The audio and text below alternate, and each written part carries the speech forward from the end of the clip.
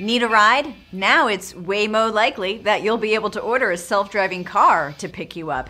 Because the self driving car company Waymo, which is run by Google's parent company Alphabet, is opening up its self driving car pickup service to average folks living around Phoenix, Arizona. The service is still in a testing phase, but the company is confident to let hundreds of ordinary people try its self driving Chrysler Pacifica minivans for free. Apply, get accepted into the test program, and you can call up a Waymo anytime you need it.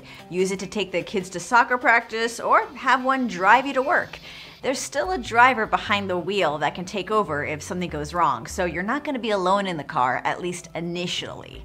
Waymo may not be a familiar name to you, but before it was called Waymo, the folks at Google have been testing this technology for the past eight years. There's a hundred of these cars in the fleet, with another 500 being added. The company is ahead of Uber, who also is in the early phases of offering the public the chance to get picked up in a self driving car with limited tests. I'm Bridget Carey, and you can get way more details about Waymo at cnet.com.